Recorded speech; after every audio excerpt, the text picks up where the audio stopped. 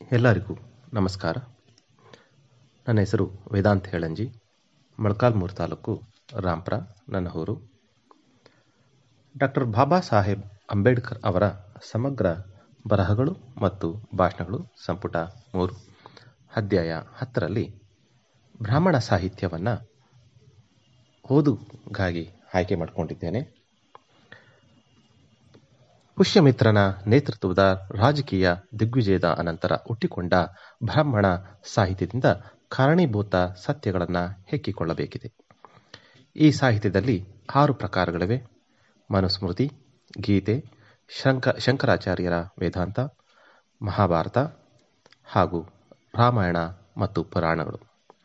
ಈ ಸಾಹಿತ್ಯವನ್ನು ವಿಶ್ಲೇಷಿಸುವಾಗ ನಾನು ಬೌದ್ಧ ಧರ್ಮದ ಅವನತಿಗೆ ಕಾರಣವಾದಂತಹ ಸತ್ಯಗಳನ್ನು ಮಾತ್ರ ಹೊರಗಳೆಯ ಬಯಸುತ್ತೇನೆ.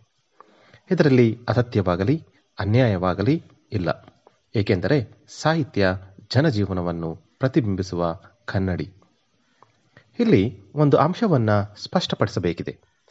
ಅದು ಈ ಸಾಹಿತ್ಯವು ಅಸ್ತಿತ್ವಕ್ಕೆ ಬಂದ ಕಾಲಮಾನವನ್ನು ಕುರಿತಾದದ್ದು.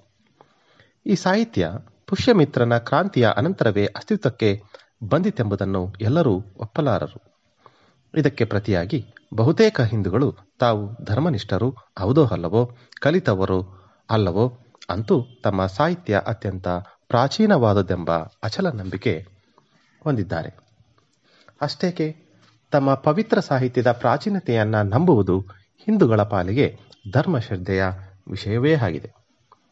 ಮನುವಿನ ಕಾಲಾವಧಿಗೆ ಸಂಬಂಧಿಸಿದಂತೆ ಮನುಸ್ಮೃತಿಯನ್ನ ಸುಮತಿ ಭಾರ್ಗವನ್ನು ಕ್ರಿಸ್ತಪೂರ್ವ ನೂರ ಎಂಬತ್ತೈದರಲ್ಲಿ ಅಂದರೆ ಪುಷ್ಯಮಿತ್ರನ ಕ್ರಾಂತಿಯ ಅನಂತರವೇ ಬರೆದನೆಂಬುದನ್ನು ನಾನು ಉಲ್ಲೇಖಿಸಿದ್ದೇನೆ.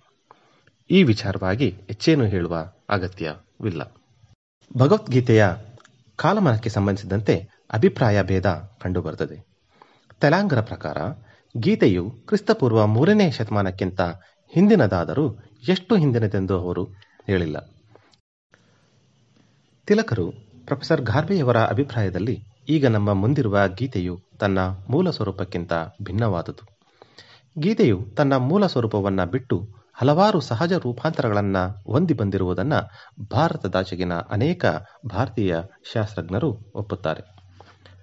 ಪ್ರೊಫೆಸರ್ ಘಾರ್ಬೆಯವರ ಪ್ರಕಾರ ಭಗವದ್ಗೀತೆಯಲ್ಲಿ ಮೂಲದಲ್ಲಿ ಇರದಿದ್ದ ಒಂದು ನೂರ ನಲವತ್ತಾರು ಶ್ಲೋಕಗಳು ಹೊಸದಾಗಿ ಸೇರಿವೆ. ಇನ್ನು ಅದು ರಚನೆಯಾದದ್ದು ಯಾವಾಗ ಎನ್ನಲು ಪ್ರೊಫೆಸರ್ ಗಾರ್ಬೆ ಕ್ರಿಸ್ತಶಕ ಎರಡನೇ ಶತಮಾನಕ್ಕಿಂತ ಹಿಂದಿರಲಾರದು ಎನ್ನುತ್ತಾರೆ. ಪ್ರೊಫೆಸರ್ ಕೋಸಂಬಿಯವರು ಗೀತೆ ರಚನೆಯಾದದ್ದು ಬಾಲಾದಿತ್ಯ ದೊರೆಯ ಕಾಲದಲ್ಲೇ ಎಂದು ವಾದಿಸುತ್ತಾರೆ.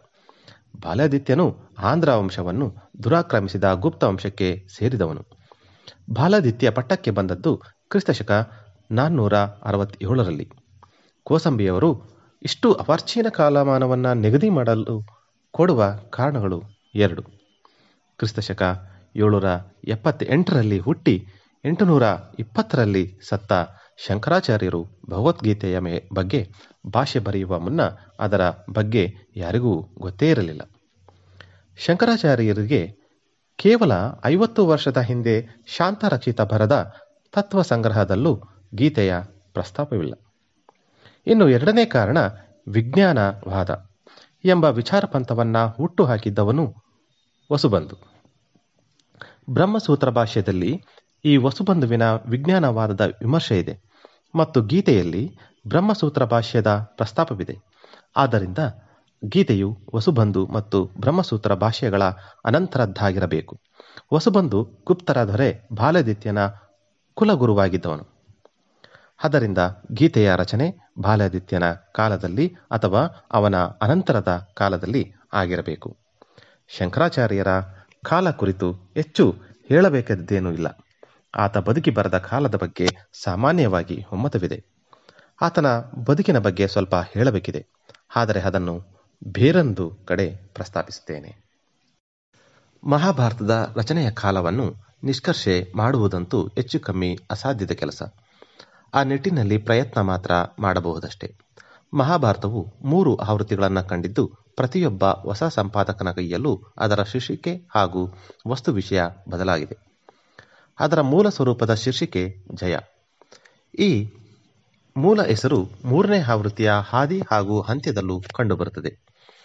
ಜಯ ಎಂಬ ಹೆಸರಿನ ಮೊದಲ ಆವೃತ್ತಿಯನ್ನು ಬರೆದವನು ವ್ಯಾಸ. ಇದರ ಎರಡನೇ ಆವೃತ್ತಿಯ ಹೆಸರು ಭಾರತ. ಈ ಎರಡನೇ ಆವೃತ್ತಿಯ ಸಂಪಾದಕ ವೈಶಂಪಾಯನ. ವೈಶಂಪಾಯನನ ಭಾರತ ಒಂದೇ. ಅದರ ಎರಡನೆಯ ಆವೃತ್ತಿ ಅಲ್ಲ. ವ್ಯಾಸನಿಗೆ ವೈಶಂಪಾಯನನಲ್ಲದೆ ಇನ್ನೂ ಅನೇಕ ಶಿಷ್ಯರಿದ್ದರು. ಸುಮಂತು, ಜೈಮಿನಿ, ಪೈಲ ಮತ್ತು ಶುಕ ಎಂಬುವರು ಅವರ ಇತರ ನಾಲ್ಕು ಶಿಷ್ಯರು. ಅವರೆಲ್ಲರೂ ವ್ಯಾಸನ ಪದತಲದಲ್ಲಿ ಕಲಿತವರು. ಅವರೆಲ್ಲರೂ ತಮ್ಮ ತಮ್ಮ ಆವೃತ್ತಿಯನ್ನ ಹೊರತಂದರು. ಆದ್ದರಿಂದ ಭಾರತದ್ದೇ ಇನ್ನು ನಾಲ್ಕು ಆವೃತ್ತಿಗಳಾದವು. ವೈಶಂಪಾಯನ ಇವೆಲ್ಲವನ್ನು ಸೇರಿಸಿ ತನ್ನ ಆವೃತ್ತಿಯನ್ನ ಸಿದ್ಧಪಡಿಸಿದ. ಇದಾದ ಮೇಲೆ ಬಂದ ಮೂರನೆಯವನು ಸೌತಿ. ಈತ ವೈಶಂಪಾಯನ ಆವೃತ್ತಿಯನ್ನ ಪುನರ್ಜಿಸಿದ. ಕೊನೆಗೆ ಸೌತಿಯ ಆವೃತ್ತಿಗೆ ಮಹಾಭಾರತ ಎಂಬ ಹೆಸರು ಬಂದು ನಿಂತಿತು. ಈ ಗ್ರಂಥ ತನ್ನ ಗಾತ್ರ, ವಸ್ತು ವಿಷಯಗಳೆರಡರಲ್ಲೂ ಬೆಳೆದು ನಿಂತಿದೆ. ವ್ಯಾಸನ ಜಯ ಕೇವಲ ಎಂಟು ಸಾವಿರದ ಎಂಟುನೂರು ಶ್ಲೋಕಗಳುಳ್ಳ ಪುಟ್ಟ ಕೃತಿಯಾಗಿತ್ತು ಇದೇ ವೈಶಂಪಾಯನನ ಕೃತಿಯಲ್ಲಿ ಇಪ್ಪತ್ನಾಲ್ಕು ಸಾವಿರ ಶ್ಲೋಕಗಳಾಯಿತು. ಸೌತಿ ಅದನ್ನು ಬೆಳೆಸಿ ತೊಂಬತ್ತಾರು ಸಾವಿರದ ಎಂಟುನೂರ ಮೂವತ್ತಾರು ಶ್ಲೋಕಗಳಿಗೆ ವಿಸ್ತರಿಸಿದ. ವಸ್ತು ಮತ್ತು ವಿಷಯಕ್ಕೆ ಬಂದರೆ ವ್ಯಾಸ ಬರೆದಿದ್ದು ಕೌರವರು ಹಾಗೂ ಪಾಂಡವರ ಯುದ್ಧದ ಕತೆ ಮಾತ್ರವಾಗಿತ್ತು. ವೈಶಂಪಾಯನನ ಕೈಯಲ್ಲಿ ಇದೇ ಕತೆ ಎರಡು ಆಯಾಮದ್ದಾಯಿತು. ಮೂಲ ಕತೆಗೆ ಈಗ ನೀತಿಬೋಧಿಯು ಸೇರಿಕೊಂಡಿತು. ಕೇವಲ ಚಾರಿತ್ರಿಕ ಕೃತಿಯಾದದ್ದು ಈಗ ಸಾಮಾಜಿಕ, ನೈತಿಕ ಮತ್ತು ಧಾರ್ಮಿಕ ಕರ್ತವ್ಯಗಳನ್ನು ಬೋಧಿಸುವ ಉಪದೇಶಾತ್ಮಕ ಕೃತಿಯಾಗಿ ಮಾರ್ಪಟ್ಟಿತು. ಇನ್ನು ಕೊನೆಯ ಸಂಪಾದಕ ಸೌತಿಯಂತೂ ಅದನ್ನು ಸರ್ವಗ್ರಾಹಿ ಐತಿಹ್ಯ ಗಾಥೆಗಳ ಭಂಡಾರವಾಗಿ ಮಾಡಿದ. ಭಾರತಕ್ಕೆ ಸಂಬಂಧವಿರದಿದ್ದ ದಂತಕಥೆಗಳು, ಚಾರಿತ್ರಿಕ ಕಥೆಗಳೆಲ್ಲವೂ ಕಳೆದು ಹೋಗದಂತೆ ಅಥವಾ ಒಂದೆಡೆ ಸಿಗುವಂತೆ ಸೌತಿ ಕಲೆ ಹಾಕಿದ. ಆತನಿಗೆ ಭಾರತವು ಎಲ್ಲಾ ಕಲಿಕೆ ಹಾಗೂ ಜ್ಞಾನದ ಭಂಡಾರವಾಗಬೇಕೆಂಬ ಇನ್ನೊಂದು ಆಕಾಂಕ್ಷೆಯೂ ಇತ್ತು. ಅದಕ್ಕೆ ಆತ ರಾಜನೀತಿ, ಭೂಗೋಳ, ಧನುರ್ವಿದ್ಯೆ ಮುಂತಾದ ಎಲ್ಲಾ ಜ್ಞಾನ ಶಾಖೆಗಳ ಅಂಶಗಳನ್ನು ಭಾರತಕ್ಕೆ ಸೇರಿಸಿದ. ಸೌತಿಯ ಪುನರಾವರ್ತನೆಯ ಪ್ರವೃತ್ತಿ ನೋಡಿದರೆ ಭಾರತ ಆತನ ಕೈಯಲ್ಲಿ ಮಹಾಭಾರತವಾದರಲ್ಲಿ ಆಶ್ಚರ್ಯವೇನೂ ಇಲ್ಲ. ಈಗ ಅದರ ರಚನೆಯ ಕಾಲದ ಬಗ್ಗೆ ಹೇಳಬೇಕೆಂದರೆ ಕೌರವ ಪಾಂಡವರ ಯುದ್ಧ ಅತ್ಯಂತ ಪ್ರಾಚೀನವಾದದ್ದೆಂಬುದರಲ್ಲಿ ಯಾವ ಸಂದೇಹವೂ ಇಲ್ಲ. ಅಂದ ಮಾತ್ರಕ್ಕೆ ವ್ಯಾಸ ಸೃಷ್ಟಿಯು ಅಷ್ಟೇ ಹಳೆಯದು ಅಥವಾ ಆ ಘಟನೆಗೆ ಸಮಕಾಲೀನವಾದದ್ದು ಎಂದೇನೂ ಅರ್ಥವಲ್ಲ. ಈ ಬೇರೆ ಆವೃತ್ತಿಗಳ ನಿರ್ದಿಷ್ಟ ಕಾಲಮಾನ ನಿಗದಿಪಡಿಸುವುದೇ ಕಷ್ಟದ ಕೆಲಸ. ಇವೆಲ್ಲವನ್ನ ಒಟ್ಟಾಗಿಸಿ ಪ್ರೊಫೆಸರ್ ಹಾಫ್ಕಿನ್ಸ್ ಹೀಗೆ ಹೇಳುತ್ತಾರೆ. ಅಂದಾಜು ಮಾಡಿ ಹೇಳುವುದಾದರೆ, ಇಡೀ ಮಹಾಭಾರತದ ರಚನೆಯ ಕಾಲ ಕ್ರಿಸ್ತಶಕ ಇನ್ನೂರರಿಂದ ನಾನ್ನೂರು ಅನ್ನಬಹುದು. ಈ ಕಾಲಮಾನ ನಂತರದ ಆವೃತ್ತಿಗಳಿಗಾಗಲಿ ಒಬ್ಬರಾದ ಮೇಲೊಬ್ಬರು ತೆಗೆದ ಪ್ರತಿಗಳಲ್ಲಿ ಕಂಡ ಬದಲಾವಣೆಗಳಿಗಾಗಲಿ ಅನ್ವಯಿಸುವುದಿಲ್ಲ.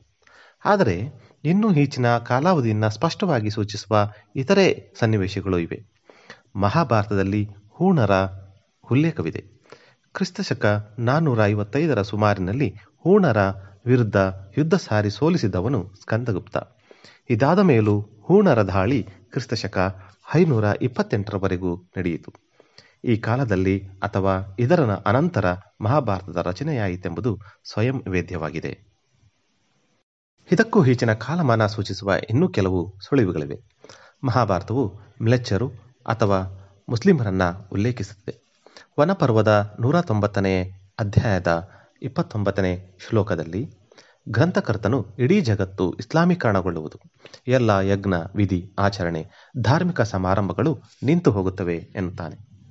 ಇದು ಮುಸ್ಲಿಮರನ್ನ ಕುರಿತ ನೇರ ಪ್ರಸ್ತಾಪವಾಗಿತ್ತು. ಆ ಶ್ಲೋಕ ಭವಿಷ್ಯವಾಣಿಯಂತಿದ್ದರೂ ಮಹಾಭಾರತವು ಪುರಾಣವಾಗಿರುವುದರಿಂದ ನಡೆದು ಹೋದ ಘಟನೆಯ ಉಲ್ಲೇಖವೆಂದೇ ತಿಳಿಯಬೇಕಾಗುತ್ತದೆ.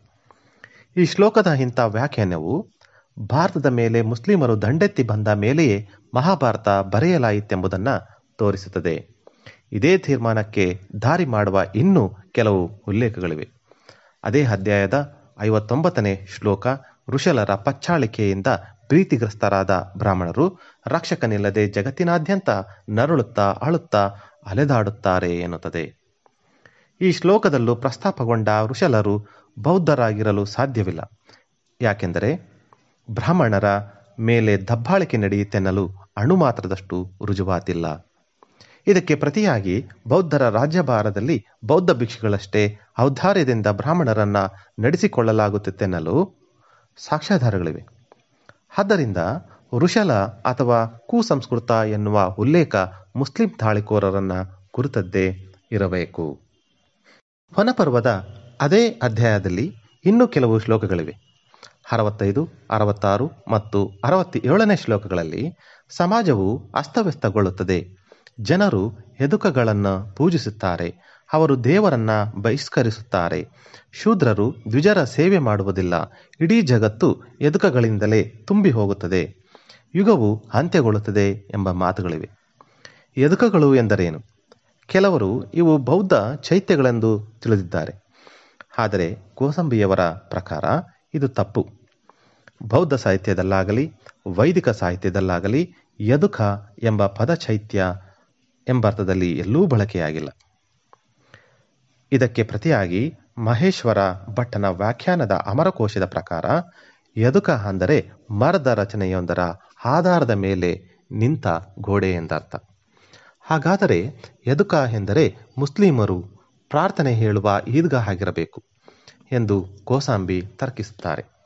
ಇದೇ ನಿಜವಾದ ಅರ್ಥವಾದರೆ ಮಹಮ್ಮದ್ ಘೋರಿಯ ದಾಳಿಯ ಅನಂತರವೇ ಮಹಾಭಾರತದ ರಚನೆಯಾಯಿತೆಂಬುದು ಸ್ಪಷ್ಟವಾಗುತ್ತದೆ.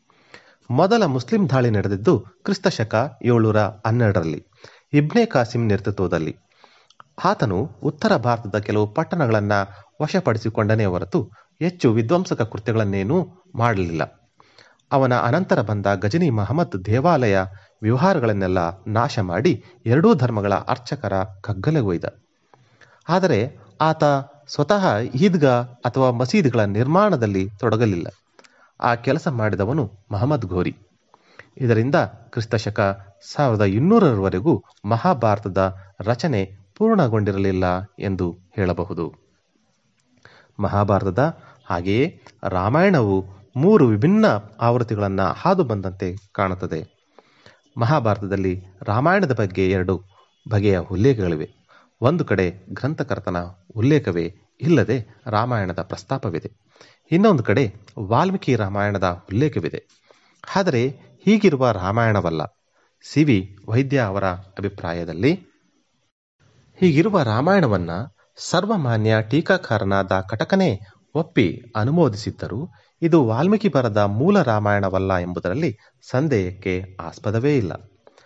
ಸಂಪ್ರದಾಯವಾದಿಗಳಿಗೂ ಆ ಬಗ್ಗೆ ಅನುಮಾನವಿರಲಾರದು. ಇದರ ಬಂಗಾಳ ಪಾಠವನ್ನಾಗಲಿ ಮುಂಬಯಿ ಪಾಠವನ್ನಾಗಲಿ, ರಾಮಾಯಣವನ್ನ ಸುಮ್ಮನೆ ತಿರುವಿ ಹಾಕುವವನು ಅದರಲ್ಲಿ ತುಂಬಿರುವ ವಿಸಂಗತಿಗಳು, ತಪ್ಪಿದ ಕೊಂಡಿಗಳು, ಹಳೆ ಹೊಸ ವಿಚಾರಗಳ ಸಮಾಂತರ ಮಂಡನೆ ಒಡೆದು ಕಾಣುತ್ತವೆ ಮತ್ತು ವಾಲ್ಮೀಕಿಯ ರಾಮಾಯಣವನ್ನ ಅನಂತರದ ದಿನಗಳಲ್ಲಿ ಪುನರ್ ರಚಿಸಲಾಗಿತ್ತೆಂಬ ತೀರ್ಮಾನಕ್ಕೆ ಬರಲೇಬೇಕಾಗುತ್ತದೆ. ಮಹಾಭಾರತದಂತೆಯೇ ರಾಮಾಯಣದ ವಸ್ತು ವಿಷಯವು ಬೆಳವಣಿಗೆ ಹೊಂದಿದೆ. ಮೂಲದಲ್ಲಿ ಅದು ರಾಮನ ಪತ್ನಿ ಸೀತೆಯನ್ನು ರಾವಣ ಅಪಹರಿಸಿದ್ದರಿಂದ ಉಂಟಾದ ರಾಮ ರಾವಣರ ಯುದ್ಧದ ಕತೆ ಮಾತ್ರ. ಎರಡನೇ ಆವೃತ್ತಿಯಲ್ಲಿ ಇದೇ ಕತೆಗೆ ನೀತಿ ಬೋಧೆಯು ಸೇರಿಕೊಂಡಿತು. ಶುದ್ಧ ಚಾರಿತ್ರಿಕ ಕೃತಿಯಾಗಿದ್ದ ರಾಮಾಯಣವು ಈಗ ಸಾಮಾಜಿಕ, ನೈತಿಕ ಮತ್ತು ಧಾರ್ಮಿಕ ಕರ್ತವ್ಯಗಳನ್ನು ಬೋಧಿಸುವ ಉದ್ದೇಶದ ಉಪದೇಶಾತ್ಮಕ ಗ್ರಂಥವಾಯಿತು. ಇದೇ ಮತ್ತೆ ಮೂರನೇ ಆವೃತ್ತಿಯನ್ನು ಕಂಡಾಗ ಮಹಾಭಾರತದಂತೆಯೇ ದಂತಕಥೆಗಳು, ಜ್ಞಾನ, ಕಲಿಕೆ, ತತ್ವಶಾಸ್ತ್ರ, ಮತ್ತಿತರ ಕಲೆ ವಿಜ್ಞಾನಗಳ ಭಂಡಾರವಾಗಿ ಮಾರ್ಪಟ್ಟಿತು. ಇನ್ನು ರಾಮಾಯಣ ರಚನೆಯ ಅವಧಿ ಕುರಿತಂತೆ ರಾಮನ ಕತೆ ಪಾಂಡುವಿನ ಕತೆಗಿಂತಲೂ ಹಳೆಯದೆಂದು ಸಿದ್ಧವಾಗಿದೆ. ಆದರೂ ರಾಮಾಯಣದ ರಚನೆಯು ಮಹಾಭಾರತದ ರಚನೆಯೊಡನೆ ಸಮಸಮನಾಗಿ ನಡೆದು ಬಂದಿದೆ. ರಾಮಾಯಣದ ಕೆಲವು ಭಾಗಗಳು ಮಹಾಭಾರತಕ್ಕಿಂತ ಪ್ರಾಚೀನವಾಗಿರಬಹುದು, ಆದರೆ ರಾಮಾಯಣದ ಬಹುಪಾಲನ್ನು ಮಹಾಭಾರತದ ಬಹುಪಾಲು ರಚನೆಯಾದ ಮೇಲೆ ಬರೆಯಲಾಯಿತೆಂಬುದರಲ್ಲಿ ಅನುಮಾನವಿಲ್ಲ. ಅಂಬೇಡ್ಕರ್ ಹೋದ ಸರಣಿಯಲ್ಲಿ ನನಗೆ ಅವಕಾಶ ಮಾಡಿಕೊಟ್ಟ ನನ್ನನ್ನು ಸದಾ ತಿದ್ದುವ ಮತ್ತು ಪ್ರೋತ್ಸಾಹಿಸುವ ಡಾಕ್ಟರ್ ಹರಣ್ ಜೋಳದ ಕೂಡ್ಲಿಗಿ ಅವರಿಗೆ ಧನ್ಯವಾದಗಳು.